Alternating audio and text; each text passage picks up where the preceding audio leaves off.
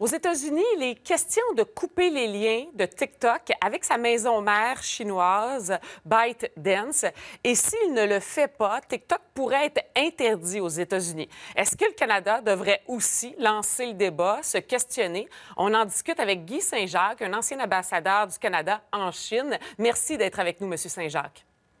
Merci de l'invitation, Mme Lauzon. Alors, devrait-on, d'après vous, au Canada, s'inquiéter également de TikTok?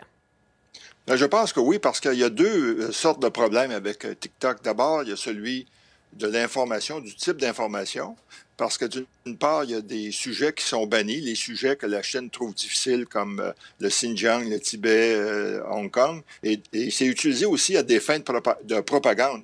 Et l'autre côté, c'est le fait que c'est une application qui permet potentiellement à la Chine d'accumuler beaucoup d'informations sur les utilisateurs de, cette, euh, de ce média social.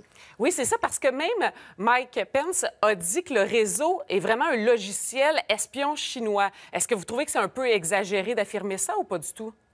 Non, euh, pas du tout, parce qu'en fait, c'est hmm. ça, le logiciel permet de, une fois que vous accédez à l'application, ça permet de voir euh, votre liste de contacts, ça permet de voir quel site vous fréquentez, euh, quelles sont vos préférences, c'est que ça donne accès à beaucoup d'informations. Puis il y a des gens qui disent, ben, c'est quoi la différence avec, avec Facebook ou euh, avec euh, d'autres applications?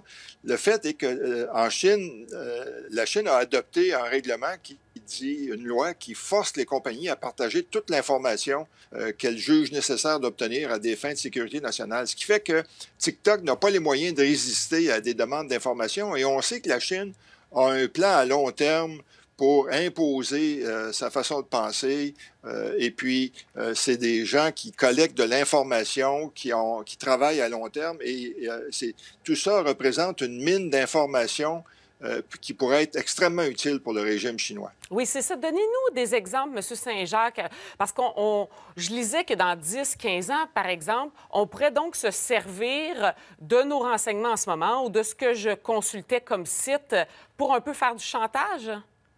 Ben oui, parce qu'en fait, c'est ça.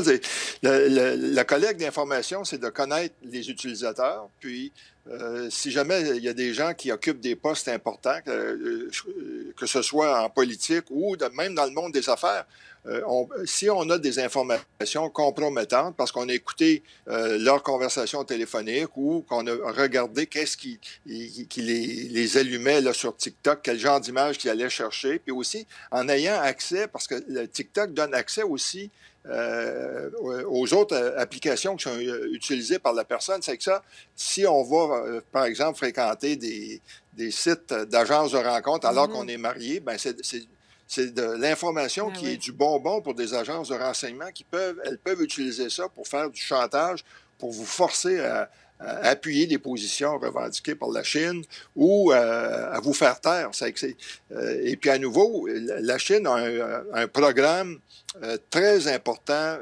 d'utiliser tous les moyens pour faire de la désinformation, euh, miner la démocratie dans les pays occidentaux. Et puis, à cause de ça, je pense qu'il faut que les gouvernements portent beaucoup plus attention à une application comme TikTok. Mais M. Saint-Jacques, encore là, est-ce que vous pouvez nous donner un, exemple de désinformation? Euh, qu'est-ce qu'on pourrait retrouver ou ne pas retrouver sur TikTok?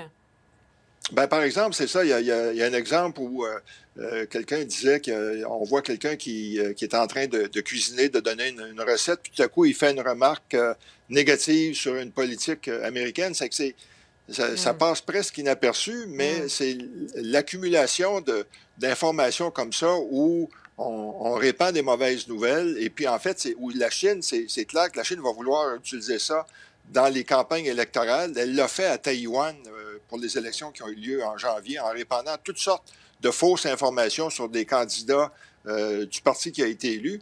Et puis, euh, ça a été utilisé d'ailleurs ici lors des deux dernières campagnes électorales pour euh, dénigrer des candidats du Parti conservateur qui avaient exprimé des positions négatives envers la Chine. C'est que la Chine, le problème avec la Chine, c'est qu'on est une société très ouverte. Elle utilise tous les moyens qu'elle peut qu'on lui, qu'on lui offre, qui sont disponibles, alors que si on regarde, par exemple, le contenu de TikTok en Chine, il est complètement différent de ah celui. Il y a beaucoup plus de contrôle exercé là-bas. Puis, il y a d'autres euh, applications comme Facebook qui ne sont pas disponibles en Chine parce que le régime, hmm. justement, veut garder le contrôle. Guy Saint-Jacques, merci beaucoup. Merci. Bonne fin de journée. Vous aussi.